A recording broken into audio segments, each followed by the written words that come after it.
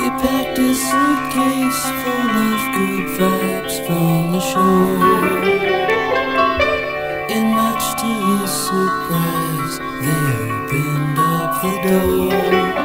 Now we all ride the same train together.